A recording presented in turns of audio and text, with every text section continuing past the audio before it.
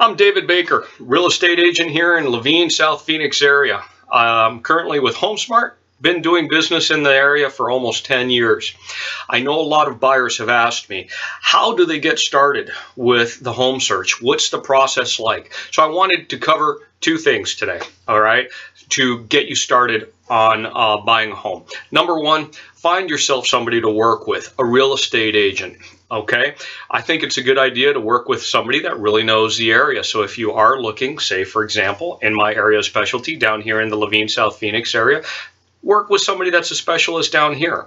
It makes no sense really to have a real estate agent that works out in Apache Junction showing you stuff here because they not they may not know the area at all. Um, so they won't be able to answer questions for you and they may not know what the values are for certain homes in the area. So I think important, you know, you could end up doing a Google search you know, search for Laveen Realtor, Laveen Realtors, you know, and see what comes up make some calls. I think it's also a very important uh, thing. Call up the agent. If they don't answer the phone the first time, you know, give them a pass. Chances are maybe they're out with the client. But if they don't call you back within a short period of time, you may want to call another one uh, because communication is key when you're buying a home. And you want to make sure that your real estate agent is going to be in contact with you, right? Now, number two thing, very important, once you've picked out a real estate agent, is going to be financing. Now, if you're paying cash and you have, have cash that you could use to pay for a home, fantastic.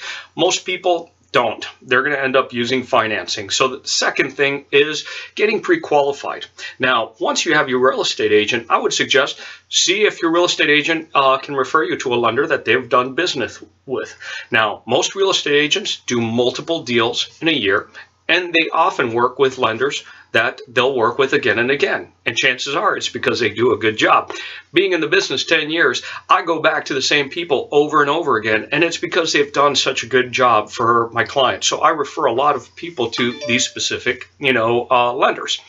Um, there's some good reasons to get pre-qualified. One, because, you know, if you do find a house that you, that you like, you need to be pre-qualified to have your offer be considered. So really, it needs to happen. You know, you need to put that horse before the carriage. You want to make sure that you've got the financing in place. But also, it tells you how much you're qualified for. It also tells you how much your payments would be for the amount of your loan. So you may qualify for, say, a million dollars, but it may be over the budget that you've set for yourself on a month, monthly basis for whatever goals you have for, you know, for your life. So you want to make sure that you stay within your budget and getting that pre-qualification is also going to help out for that. Now, once you've got the pre-qualification, you know what your payments are going to be, you've got your realtor, now you can set up a search criteria and the, and the real estate agent can help you out with that.